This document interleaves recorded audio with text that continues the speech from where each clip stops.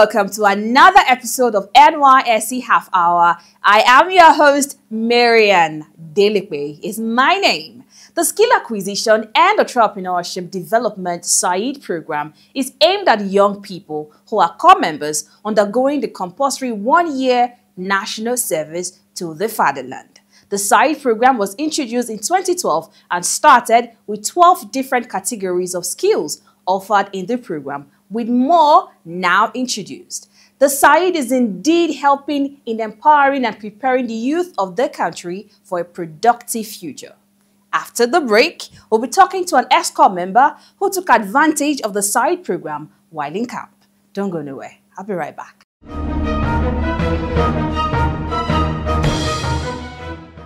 NYSC tidbits. NYSC task officers to track key performance indicators for improved performance. NYSC DG visits hospitalized corps members. Federal government thumbs up NYSC on ICT for mobilization process.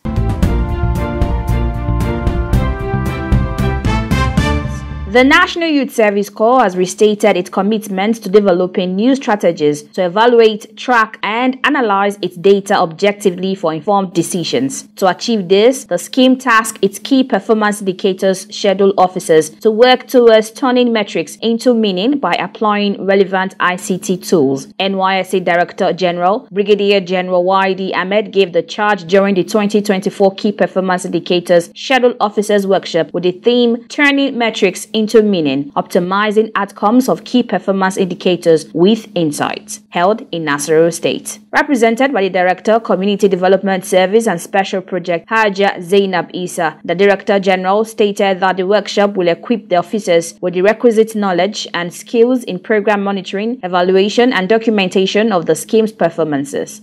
The Director General of National Youth Service Corps, Brigadier General Y.D. Ahmed, has paid a sympathy visit to the corps members who were involved in a fatal road accident on their way to the orientation camps at the commencement of the 2024 Batch A Stream 2 orientation course. Corps members Oladele Abidemi and Olaiwola Hana were on transit in the same vehicle to the orientation camps in Jigawa and Katsina State when the accident occurred along Zaria and Route Jigawa Road. While commiserating with the injured injured corps members who were on admission at the 44 Nigerian Army Reference Hospital in Kaduna. Brigadier General Y.D. Ahmed commended their patriotic zeal for accepting their deployment for national service. He said his administration would leave no stone unturned in ensuring that corps members enjoy enhanced welfare and improved security at all times. He equally prayed for the injured corps members' quick recovery. General Ahmed also lauded the management of the hospital for effective medical assistance being rendered to the corps members since they were admitted. The federal government has commended the management of National Youth Service Corps for adopting information technology IT solutions in data collation, processing for mobilization and deployment purposes. It said there is the need to adopt more innovative strategies to enhance the best practice for graduate mobilization for national service. The Minister of the Federal Capital Territory, Mr. Nyesom Wike, stated this while declaring open the maiden meeting of NYSC management with heads of corps producing institutions, CPIs in Nigeria, held in Abuja. I commend the decision of the NYSC to periodically bring critical stakeholders together for brainstorming on the best strategies for greater success, which align perfectly with the contemporary global best practices for achieving desired results. The minister, who was represented by the Mandate Secretary, Women Affairs Secretariat, FCTA, Honorable Dr. Adebayo Benjamin Laniyi, promised that the FCT administration will continue to accord priority to the security and welfare corps members. The Minister for Youth Development, Dr. Jamila Bio Ibrahim, said the federal government would continue to embark on a comprehensive reform of the National Youth Service Corps that would meet future demand. As part of the Nigerian Youth Investment Fund program, for 2024. I am also pleased to announce that at least 5,000 corps members will have their entrepreneurial ventures funded with up to 10 million naira passing out. In his welcome address, the NYSC Director General Brigadier General YD Ahmed said the meeting is in line with the provision of NYSC Act, which requires that the scheme should maintain regular contact with corps producing institutions. He added that NYSC would continue to ensure seamless mobilization of prospective corps members. The decision to initiate this direct interface with vice chancellors, rectors, and provosts came as a result of our desire to elicit more decisive actions regarding the roles of their institutions in the mobilization process. The Director General used the reform to appeal to corps producing institutions, parents, and the general public to use all available venues to complement NYSC efforts in sensitizing young graduates on call up for national service to avoid traveling at night when reporting to their state of deployment.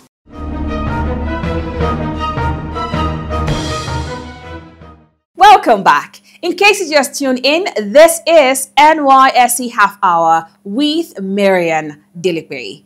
Before we speak to one of the beneficiaries of the SAED program, let's take a quick trip to Katsina State, where we'll be talking to the town head of Dandagoro community, Alhaji Muntaka Magaji Dandagoro. It tells us about the impact of corps members in his community, especially in the health sector, and further talks about the importance of the skill acquisition and entrepreneurship development SAED program of the NYSC. Let's talk to him.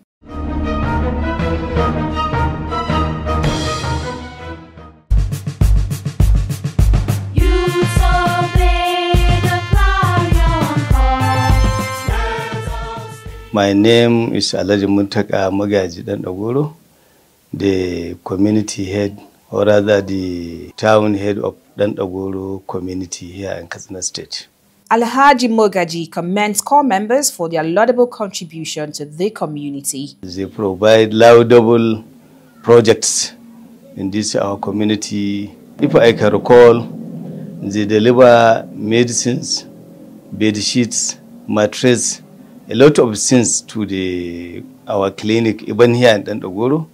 And uh, there is one corper who built the clinic along this Erhaka village in that health sector.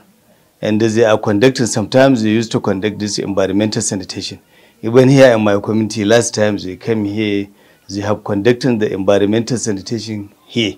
So really I'm the eyewitness because I'm the one who kicked up the program. So they have cleaned the environment, they have gone around, they have sprayed everything and interactive with the community, showing them the importance of putting the environment clean. So really in that sector, uh, a part of the water supply, there is uh, many couples who build the boreholes. Uh, some of them, they repair some, even here in my community. And uh, around this uh, one Garua village, I saw one member, is it Mariam, she came here, she tried and uh, build for that particular community because of the hardship of how to get uh, drinking or rather sanitized water. He talks about the contribution of corps members to the educational sector of the state. In this community, you know, we get the uh, Dandagoro uh, senior and junior secondary school. In Batagarawa, I'm the SBMC chairman over the science secondary school over there. So really, I saw a lot of uh, core members trying to carry out their responsibility as posted for that. So I saw them uh, always with the, with the school community conducting their lawful duty. So really, we appreciate the way we see them. Even here at Dandogoro, they have always see them organize quiz and uh, classroom teaching uh, there is a lot within the educational sector. The town head emphasizes on the great security measures put in place to make corps members safe and welcomed to the community. Within Katsina Metropolitan and uh, particularly here in Dandagoro, we don't have any security threat.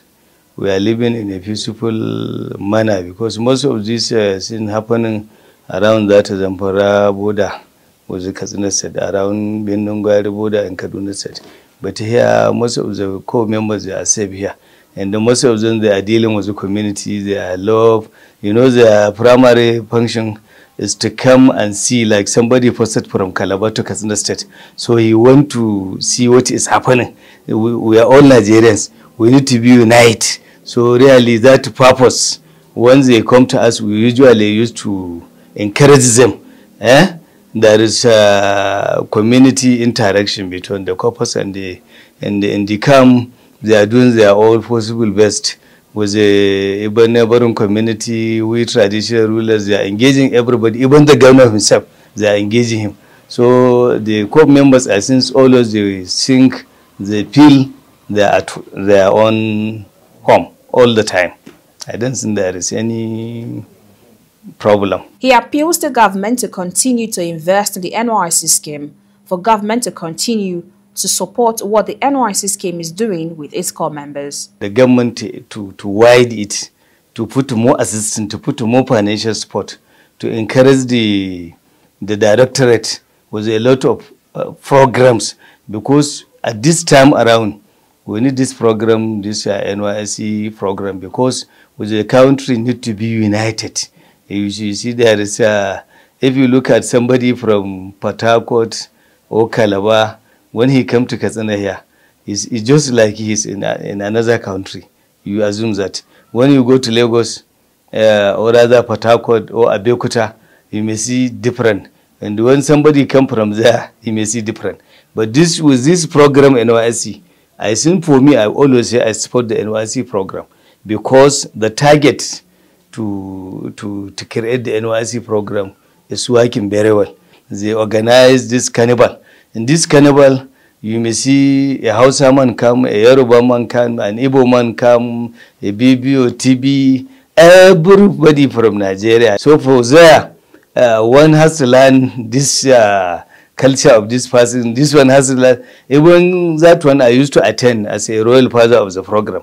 So for that is I enjoy that program seriously. Alhaji Magaji encourages the youth, especially corps members, to take sides seriously. They should learn the skills so they can be creative and self-reliant and develop the country. If you look at the population now, we are. That is all the always they call us those African people. They are just them. If you are creating something, you cannot develop without creating uh, any anything in your society. You are just sitting down. You get me? Even you are, saying go to farm, go to farm. You don't put modern implement of the farming. You cannot develop. If you go to China, you see this church light from China, see this uh, ring from China, see this shoe from China, see everything. They want your camera maybe from China. This uh, with this program, I think most of our teaming youth population, because the, the youth, you know, there are more teeming population in this nation. Really, if you consider with the old age eh, and the young generation. So really, I think with this program, people may get something self-employed and they may employ other people under them. So from here we get development. But for, for you to say, all the government may give everybody work. When he finishes your NYSC, you are going to receive your appointment letter. I don't think somebody is receiving himself. Because we are too many. To me, two issues. One, like this program NYSC, how to organize the use. Eh? Once they develop up, with United Nigeria, United Nigeria. Secondly, used to get something doing. That's why some of the times I used to, to salute some youth. You see somebody who's selling X, like if you go to Lagos, X and Doro side, you say, okay, I get my degree program, see I'm here. Eh? If you can get, help me get employment. But with this skill acquisition, he can go and make something creative.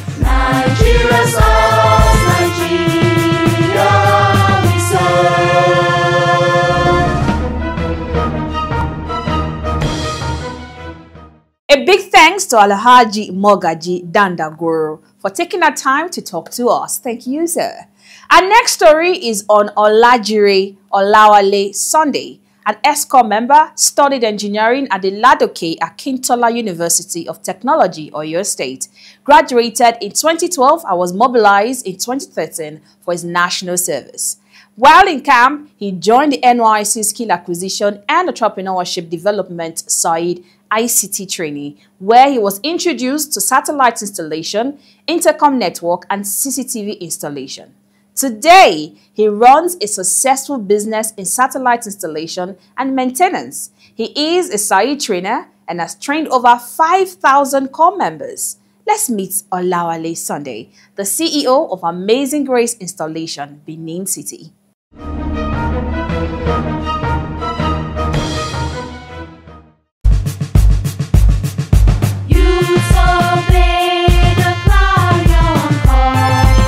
Mr. Olajiri Olawale Sunday. I graduated from Ladoke Akintola University of Technology, Lautech Ogbomoso, Oyo State. I had my first degree in Electronics and Electrical Engineering Department, 4.09, which is second class upper. I graduated 2012. During the period of my service in Edo, when I was posted to Edo, there was this program, SAID, Skill Acquisition and Entrepreneurship Program, that was organized by NYSC body. Each and every one of corps members is expected to participate on any skills of your choice. So I key into ICT during the service year where we were introduced to satellite installations, intercom networking, and CCTV installations. I was able to see far that most of the people around me, they need all these services. And if I can at least sell myself, have my own personal office, I should be able to go a long way. Like six months after, during my service year, I had an office in Benin, in town. Then I touched it up, I locked it. Then when I completed my service year, I traveled home. It was on Thursday. I had my certificate. Then on Friday, I traveled back home to only tell my parents that I'm no more a corper. Then I need to enter into live and Ozu. Then I came back to Benin and I started. Then to God be the glory. Since then till now, I have been able to have like four branches in Benin. I'm uh, into satellite installations, CCTV networking, and intercom networking. Installation and repair of DSTV, MyTV, Multi-TV, NigComSat, and all form of free-to-air satellite system. I do a repair and I sell the accessories. I'm into sales and repair of any form of satellites that you can ever think of. And I render a consultancy service to a bank and some other corporate bodies.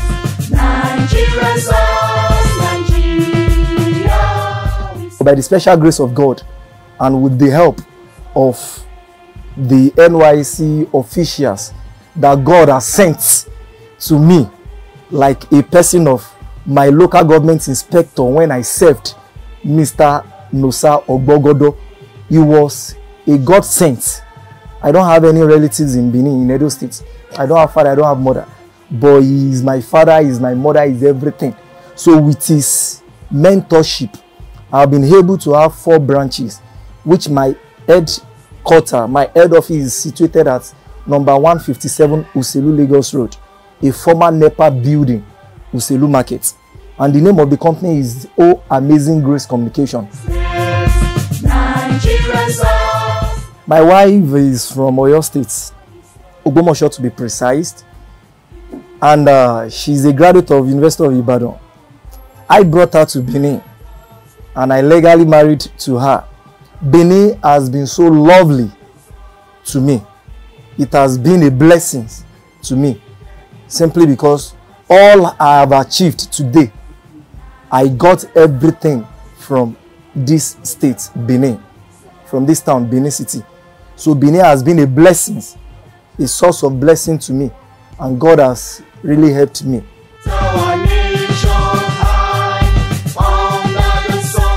Couple of years back, I was uh, invited by the SAED department of Edo NYSC, and from then till now, I've trained nothing less than 5,000 corps members in Edo States.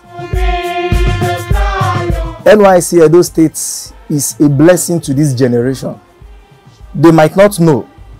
I have most of these graduates that I have trained.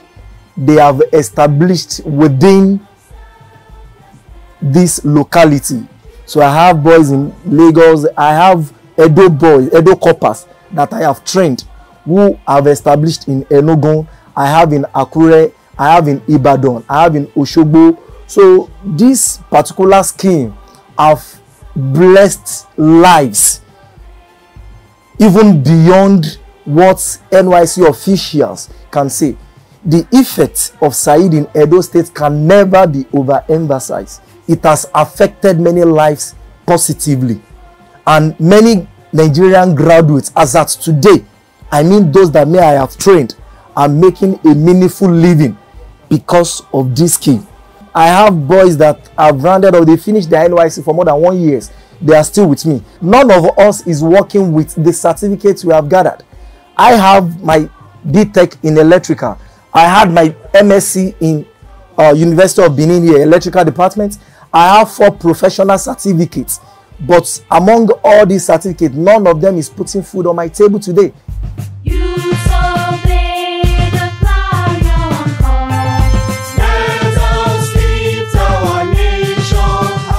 My name is Nandom Joseph Ayuba.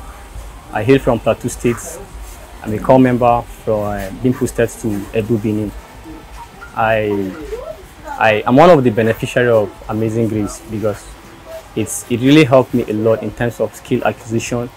I, I, can, I can remember when I came to this town, I don't have anything to do as a skill acquisition because I studied political science.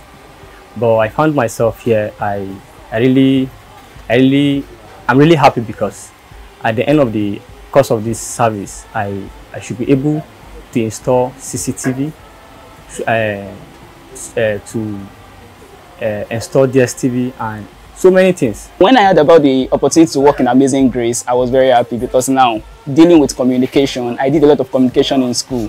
And now working towards it, working with coaxial cables and a lot of things, knowing how they transfer information from one point to the other end and getting a practical knowledge of what you did is actually a, a, an added ad advantage for you. So those are one of the reasons why I am very happy I am in Amazing Grace. Amazing Grace is also making that possible because now he was able to do it. It, it worked for him. Definitely it can work for me also. And the name is Amazing Grace. The grace is everywhere. So now I can just decide to set up myself do some stuff, do well for myself, also empower people, which is one of the goals and one of the things I believe I can live for, empower people also. So Amazing Grace is actually one of the best opportunities for me presently as it makes my dream closer and helps me also plan for the future.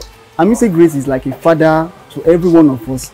He normally take care of us and the moment I try to work with Amazing Grace, I see this thing is beyond what looking for any color job again. My name is Falaji Make, and health corps member. I served with Amazing Voice.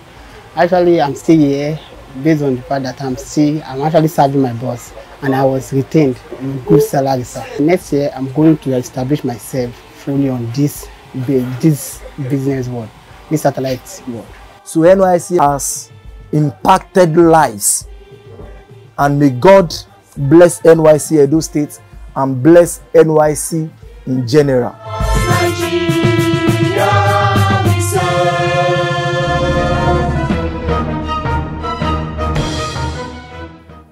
Wow, what a great story. Remember, whatever is worth doing is worth doing well. Learn a skill today, tomorrow might just be too far.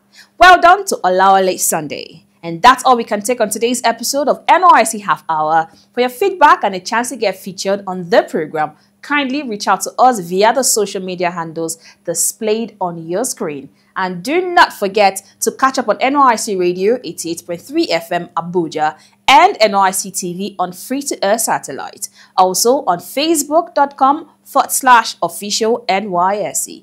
Till I come your way again, please remember the safety of our corps members is our collective responsibility. Dear corps members, be your brother's keeper. You see something, you say something. And desist from nine journeys. Kindly discontinue your journey after 6 p.m.